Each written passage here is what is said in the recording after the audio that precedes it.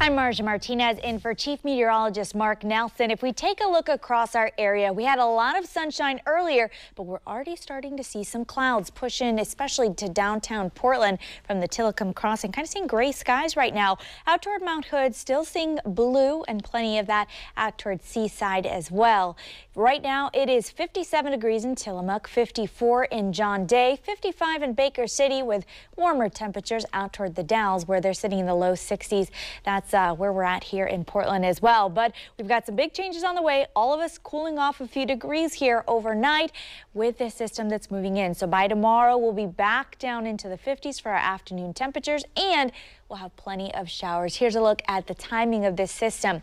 So you can see right there the band of rain that's headed our way. It's lifting to the north. So the first people who are going to get it down toward Eugene, down toward Salem, and also in the central coast. Then that spreads to the north so that those showers reach us right around midday here in Portland and stick around for that evening commute. And notice the same is the case in eastern Oregon. So you're also going to get showers, but snow showers too. And that would be at higher elevations right around or above 5,000 feet because the snow level is kind of high for right now.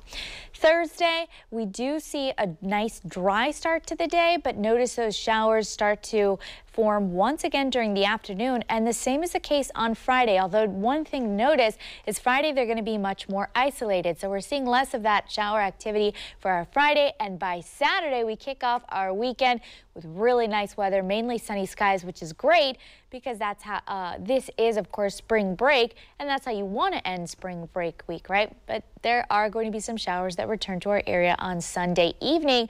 The timing of this depends on which computer model you're looking at. Right now, some of them hold that off until Monday, but I want you to be prepared just in case they start to sneak in on Sunday evening.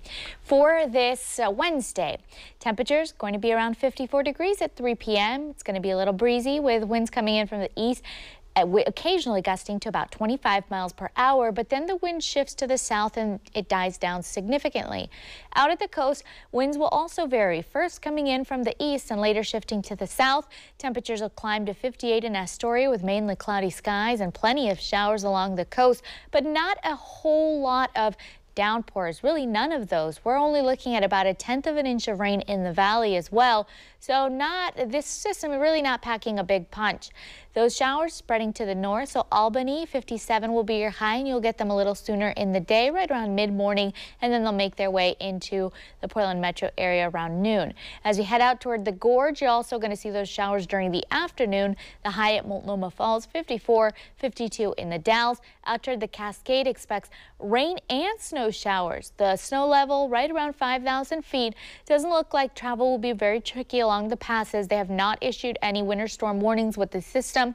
So really you're looking at a couple of flurries and travel conditions aren't going to be too difficult. Mount Hood Meadows 36 will be the high there. I know a lot of people are out in the mountain trying to do some skiing this spring break and there's plenty of powder on the ground for that. Central and eastern Oregon looking great. 53 will be the high in Baker City so temperatures will be comfortable. Yes, I say looking great even though there's going to be showers because there's not going to be significant rainfall. Here's a look at how much rain will fall throughout the state as we get into this uh, the second half of the work week. So by Friday we're looking at only about a quarter of an inch of rainfall out toward Burns, less than that here in Portland. Probably the heaviest hit areas, maybe Astoria out toward Lincoln City, where they could end up with just under half of an inch of rain. And remember, that is an accumulation of Thursday and Friday. As we get into our weekend forecast, that's when it is going to start to dry out. Saturday, we'll start to see mostly sunny skies, and this icon should say mostly sunny. I've got to change that for the forecast.